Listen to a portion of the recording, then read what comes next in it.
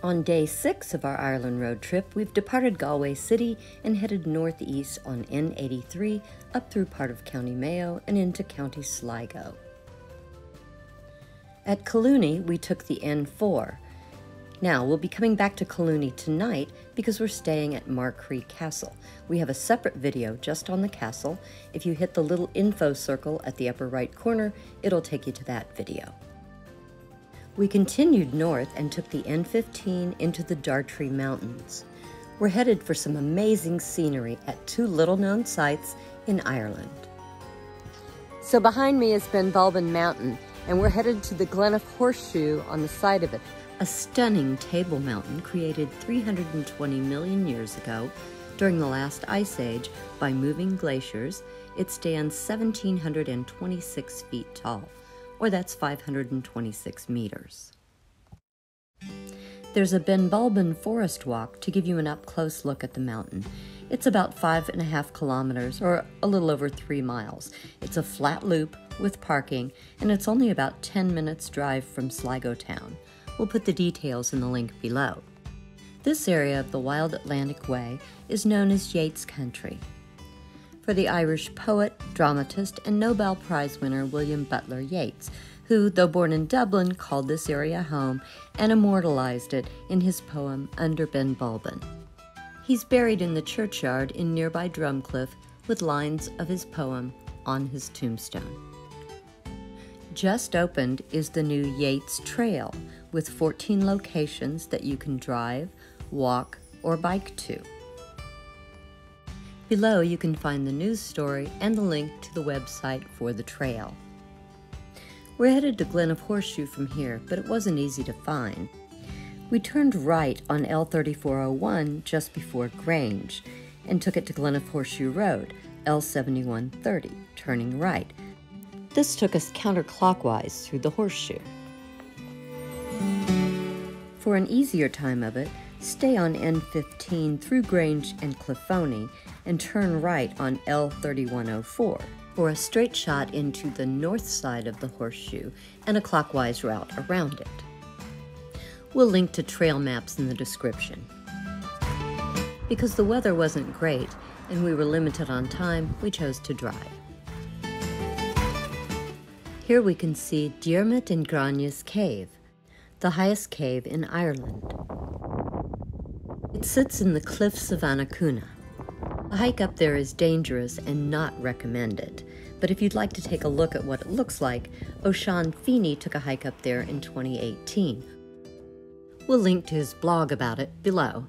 Diarmuid and Grainne were star-crossed lovers, and I'll warn you, in Irish mythology, things rarely end well.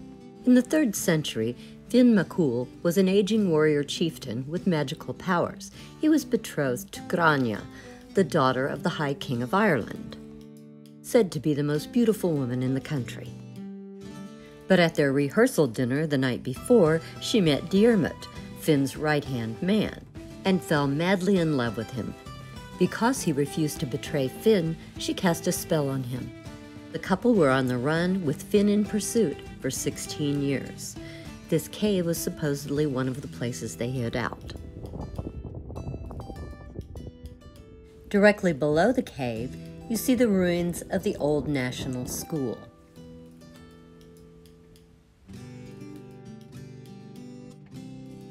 In some of the mountains and cliffs around you, you'll see mine openings. Barite, or barium sulfate, was mined here in years past. A light colored crystal, barite is used in medical testing, production of concrete, paint and plastics, and in drilling. You'll see ruins of the old barite mill throughout the horseshoe. Also, you'll see sheep still grazing on the sides of the mountain. On the inside of the horseshoe, you'll see a heart-shaped cave with a waterfall falling from it. The YouTube channel Rain or Shine has done some amazing drone footage of this spot. I'll put a link in the notes.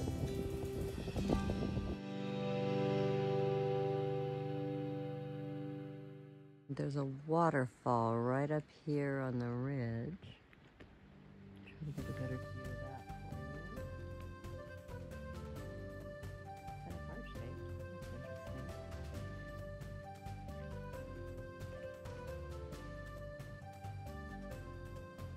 This panoramic shot will give you a good view of the inside of the horseshoe.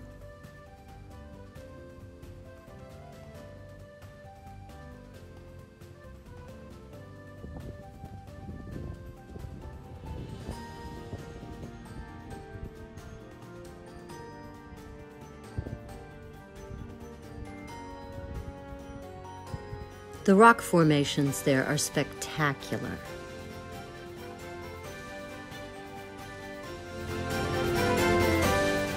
This shot with people walking in the distance will give you an idea of just how big the cliffs really are.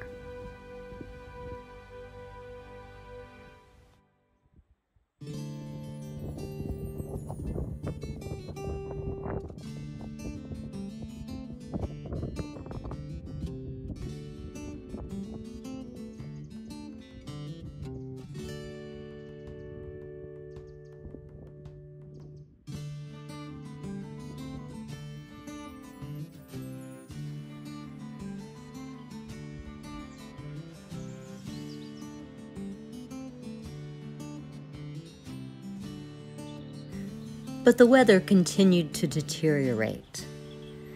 As the mist and fog rolled over the top of the mountain toward the cave, we realized just why it is that this area has inspired such magical mythology.